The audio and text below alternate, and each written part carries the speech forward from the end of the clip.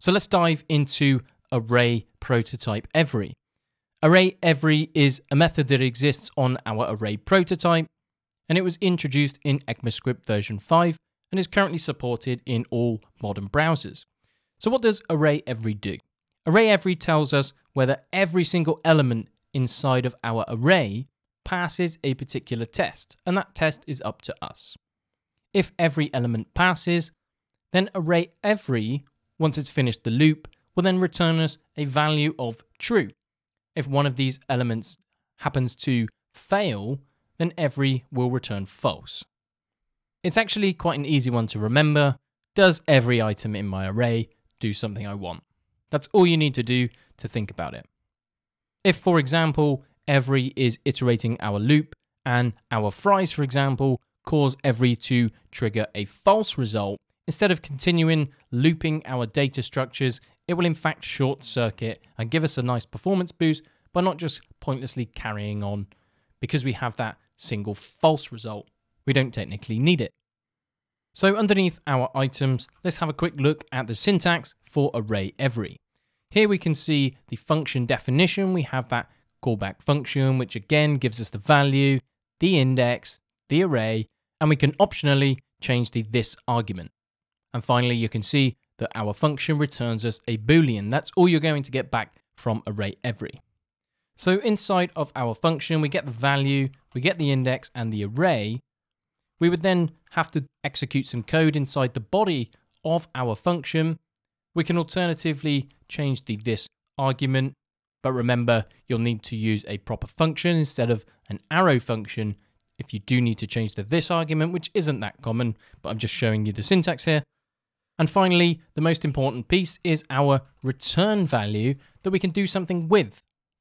Now, because array every returns us a Boolean value, its result is then commonly used in things such as if statements where we can conditionally go and do something based on our array return value. So with the syntax out of the way, I want to just show you a nice example of how to use or think about array every on a very simple case. So here we're going to create a new array. We're going to say true, true, and false. We can then say every and pass in the word of boolean with a capital B. This is a built-in JavaScript object, which is a function which will parse each item to a boolean. What's really happening is something like this, where we would call our boolean function and pass in x. However, we can just supply boolean because it's a function as the callback. Similarly, if you were going to have some function above, we could then pass in my callback here and then access x inside of here. So that's essentially what's happening with boolean and it's a very useful tool to quickly see if all values in our array are truthy. Now, as I mentioned, we have this return value. So we can say, is every value true? And then underneath, we can go ahead, log out the console. So over on the right in our console, we have false because we have one false value. If we were to change this across to true, every single item in our array results to true when our boolean returns the value. Therefore, every just simply gives us a true value. And that's a really nice and easy way that you can think about this. Now to give you more of a realistic example, what we're going to do is add a new property to our data structures. We're going to call it the stock property and we're going to have true, true, and we'll make this one false just to keep things interesting. So it might be that we have stock on a particular product. We need to know that the item is in stock before somebody can then purchase it. So this would be our false flag, where we might want to then show the user a message that says, hey, our drink happens to be out of stock. Maybe you should order something else. So what we can do with array every, we can say constant is in stock and items.every. We can ask for that item and we can just simply return item.stock. Now this is more of a simplified example, but you can compare using various operators you could check numbers, you can check strings, whatever you want. I'm keeping things nice and simple with just straight up Boolean values.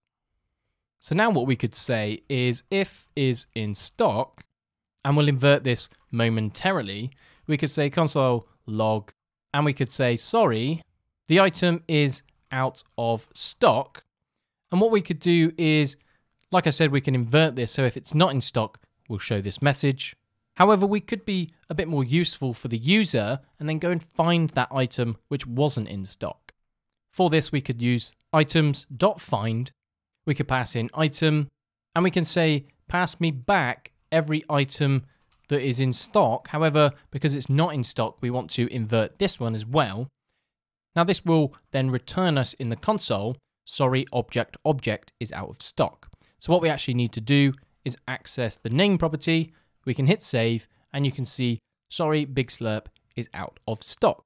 If we were to change this one to true, hit save, you can see that we have no message logged out in the console. However, we could go and change another item and make it out of stock. And now our fries are now out of stock. So using array every is a really nice tool that we can conditionally provide some logic. In my case, I'm just telling the user that sorry, that something is out of stock. And our example here is simple, but it's real enough. You can see how we've used this is in stock variable as part of our conditional statement where it's most commonly used. So now's the piece in the video where I want to show you how to use array every without actually using it directly. This will then help us uncover by using a for loop how we can think about how array every works before the new API was introduced. So at the moment we are missing our is in stock variable. So what we'll do is set this to true and then inside our loop, if any items are out of stock, we'll then set is in stock to false. So we'll go for let i equals zero. i is then less than our items dot length. We can then go ahead and increment our value of i. We can create a constant which grabs us the items variable. And all we need to do is supply some conditional logic inside, which is exactly really what we're doing here. Now the difference is here we're checking if every single item is in fact in stock. And it's up to us to find a false result and then change this accordingly. So what we're going to do is actually invert it and say if the item is not in stock, we're then going to change our is in stock then to false. It would also be a great practice to just simply break the loop at this point in time. So let's go ahead and hit save and you can see that everything is working absolutely as we'd intend. We could go ahead and change this back to true. We can see everything updates in the console and finally change our drink back to being out of stock. And there we have successfully completed our mission of learning array prototype every. It goes very nicely in hand with array some. They're essentially opposites of each other. So now we've looked through the traditional way, we can revert our code back to the more declarative, the more modern and declarative way of achieving our conditional logic. And I've just introduced you to array find if you haven't seen this before. We're going to go and explore it in the next video, so I'll see you there.